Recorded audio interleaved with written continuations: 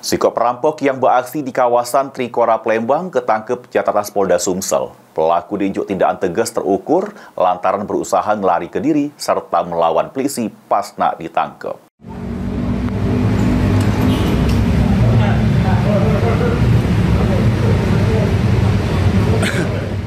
Muhammad Irsan Pahri terpincang kaki kirinya diinjuk timah panas oleh anggota unit 3 Jatrantas Polda Sumsel karena berusaha melari ke diri serta melawan pas nak ditangkap.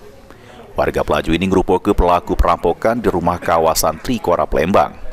Pelaku bersama ketiga kawannya sudah menguras isi rumah korban di sore hari pada 11 Agustus 2024, sehingga korban mengalami kerugian mencapai 441 juta rupiah.